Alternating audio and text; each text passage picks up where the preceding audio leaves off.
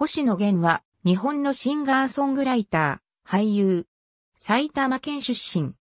インストゥルメンタルバンドセイクロックのリーダーとして、主にギターとマリンバを担当していたほか、エッセイストやコラムニストとしての顔も持ち、複数の連載や観光物を表している。所属事務所はアミューズ、大人計画。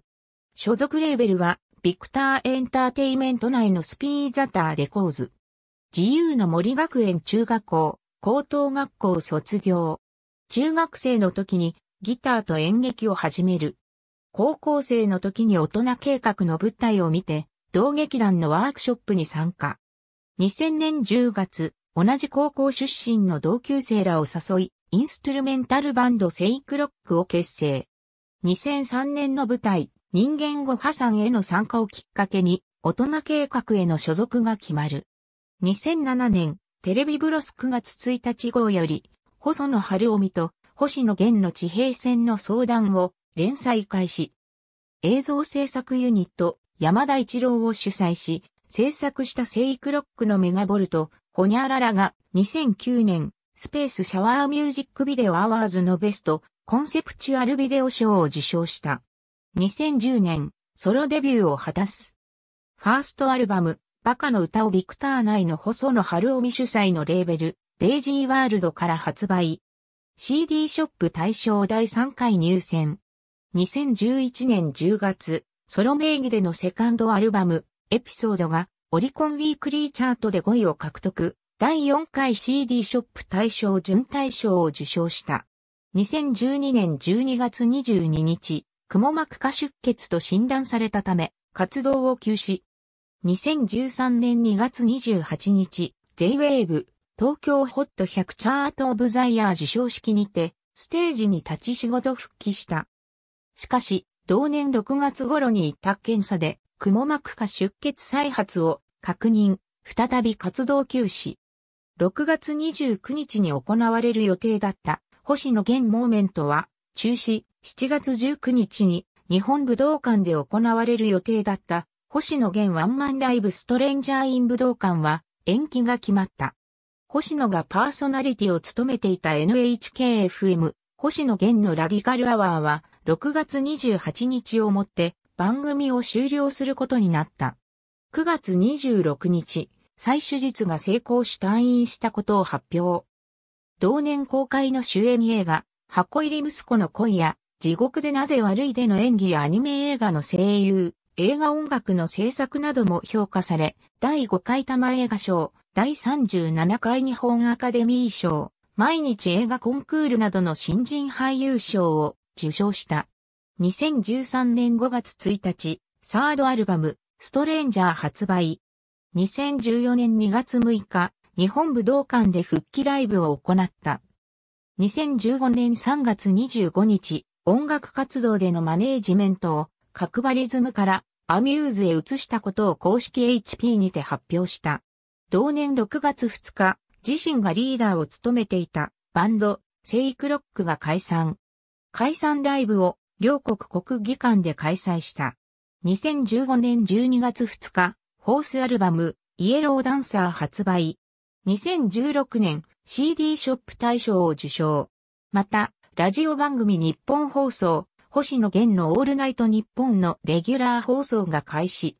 2017年には50周年を迎える同番組の記念ジングルの制作を担当。このジングルは1月2日深夜よりオンエアが開始されている。同年10月期、テレビドラマ、逃げるは恥だが役に立つに、出演、主題歌、恋も担当した。ドラマは平均14.5%の視聴率を記録し、星野は演じた、須崎平正役で、第6回コンフィデンスアワードドラマ賞、助演男優賞や、エランドール賞新人賞などを受賞。ドラマのエンディングで、恋をバックに出演者たちが、同楽曲の振り付けを披露した恋ダンスを含め、社会現象となった。2017年5月から9月にかけて、星野源ライブツアー2017 Continues が開催され、全国10カ所20公演を行った。2018年、上期放送の連続テレビ小説、半分、青いの主題歌、アイデアをリリース。連続テレビ小説は2010年のゲゲゲの女房で俳優として出演しており、朝ドラで俳優出演と主題歌担当で出場の異例のケースとなった。2018年12月19日、フィフスアルバム、ポップウイルス発売。2019年2月から3月にかけて、初の5大ドームツアー、星野源ドームツアー2019、ポップウイルスが開催され、全国5カ所8公演を行った。2019年8月30日、全楽曲のストリーミング配信を開始するとともに、自身のインスタグラムを開設。そして自身初となる海外ツアー、星野源ポップウイルスワールドツアーを開催し、世界4カ所5公演を行った。2020年3月に開催予定だった初のイエローパス限定イベントアセンブリーボリューム01が新型コロナウイルスの感染拡大のためすべての公演を中止した。